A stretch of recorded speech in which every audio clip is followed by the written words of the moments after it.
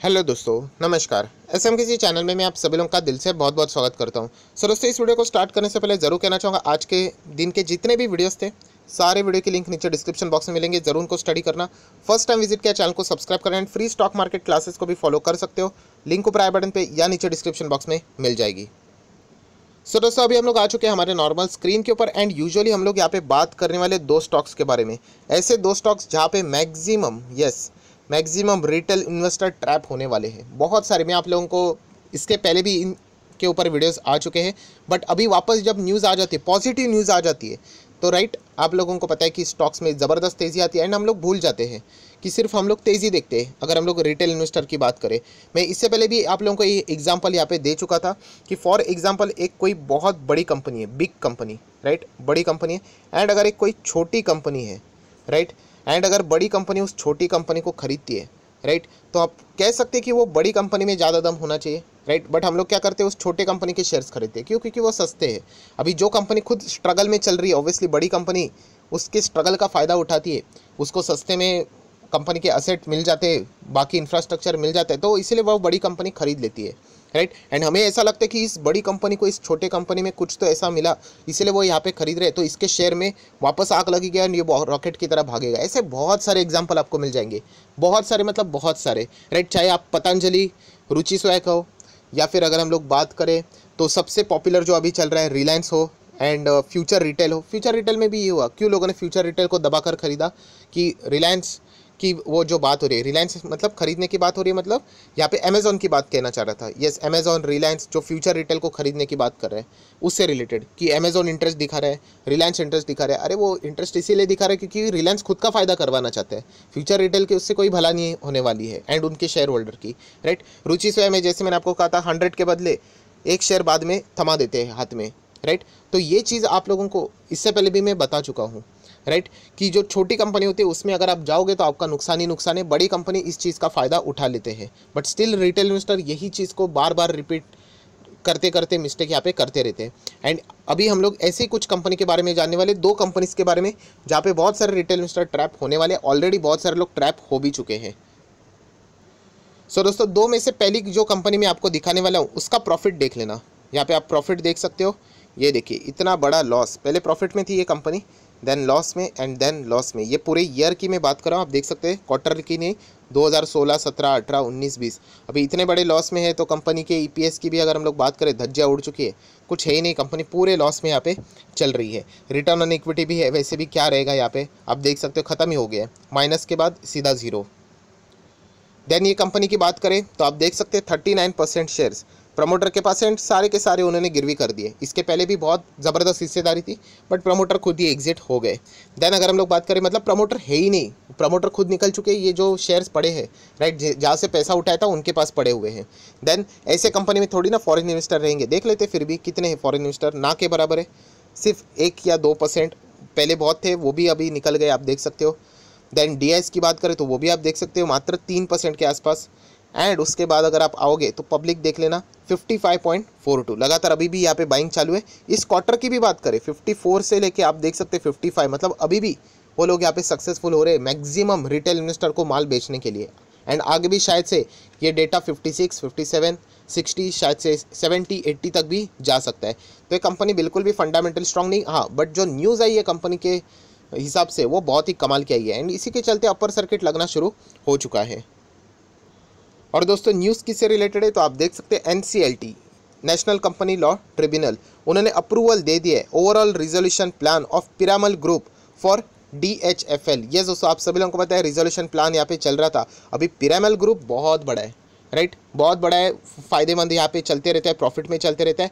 तो उन्होंने क्या कर लिया? डी एच एफ़ एल जो स्ट्रगलिंग मोड में चल रही है राइट उनको यहाँ पे एक्वायर करने के लिए या फिर जो खरीदने से रिलेटेड जो भी चीज़ें यहाँ पे चल रही है रिजोल्यूशन प्लान की भी अगर हम लोग बात करें तो वो यहाँ पे सक्सेसफुल यहाँ पे हो चुका है। सो so, ये चीज़ बीच में यहाँ पे अटकी हुई थी बट हम लोग कह सकते हैं आप देख सकते हैं यहाँ पे Piramal capital has already received approval from the C C I competition commission of India right तो ये सारी चीज़ें यहाँ पे हो चुकी है। And D H F L की अगर हम लोग यहाँ पे बात करें तो वो चीज़ अभी यहाँ पे एग्जिट होने वाली है। एंड इसी के चलते आप देख सकते हो डीएचएफएल में हम लोग को बीस रुपये अभी जाते हुए देखने को मिल रहा है। यहाँ पे अपर सर्किट लगते हुए देखने को मिल रहा है। सबसे पहले बताना चाहूँगा ये ट्वेंटी है ना?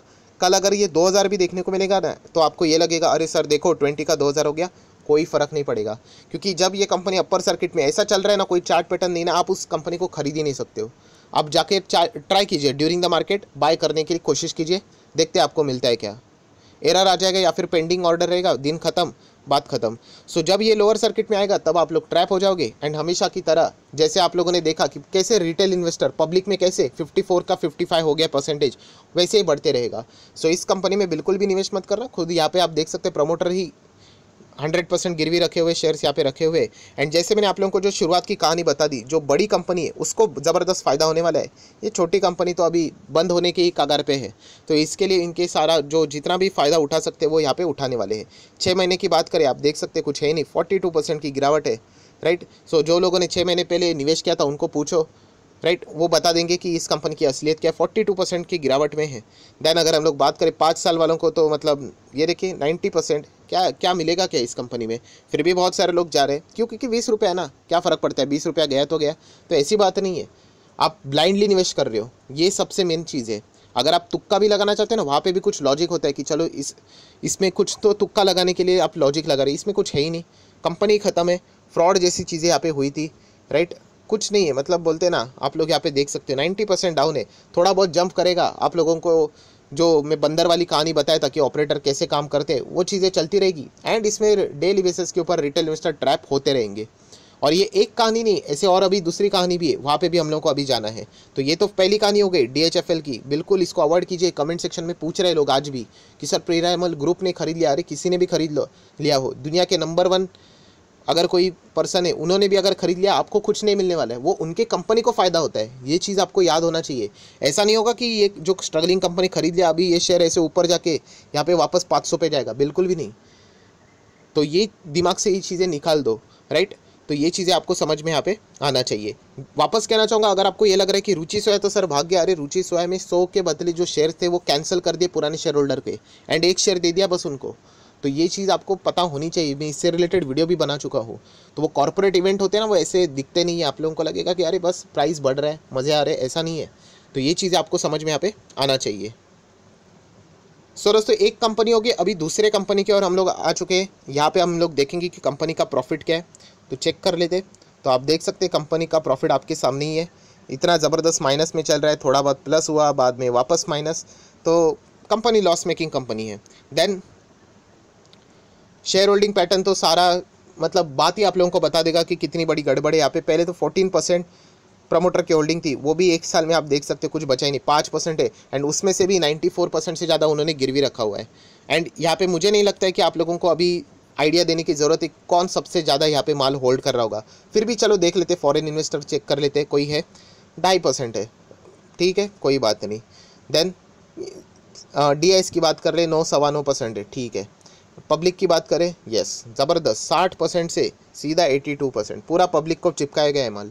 सो ये संभल करे ना मैं वापस कह रहा हूँ न्यूज़ अच्छे आते रहते जंप होते रहते बट एक जो ग्रोथ रहती है वैल्यू इन्वेस्टिंग हम लोग जो कहते हैं, वो नज़र नहीं आएगी। बीस का शेयर तीस जाएगा, चालीस, पचास, साठ, ठीक है बट इसकी कोई गारंटी नहीं कि कल उठने के बाद, नींद खुलने के बाद, अगर आप लोग देखोगे तो ये स्टॉक जैसे बाज़ार ओपन हो जाए लोअर सर्किट भी लगना शुरू हो सकता है, क्योंकि कंपनी के फंडामेंटल्स बहुत ही पुअर है। सो ये चीज़ें आपको समझ में आनी चाहिए। हाँ न्यूज़ जो आई है दोनों कंपनी के लिए, वो बहुत ही ज़बरदस्त है इसलिए तो स्टॉक्स भाग रहे हैं। बट मेन चीज़ जो आप लोगों ने सीखनी है कि क्या न्यूज़ लॉन्ग टर्म तक सपोर्ट करेगी, वो चीज़ तो देखनी है। एक दो दिन के लिए सपोर्ट करेगी तो मतलब क्या? फिर वो तो ट्रेडिंग हो गया।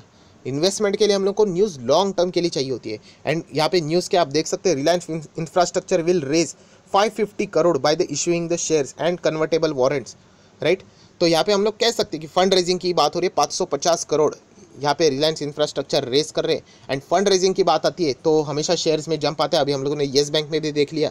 तो वैसी चीज़ आर इंफ्रा में भी होते हुए देखने को मिल रही है। एंड आप स्टॉक सत्तर रुपये का स्टॉक अभी आप देख सकते हैं अपर सर्किट में यहाँ पे चल रहा है।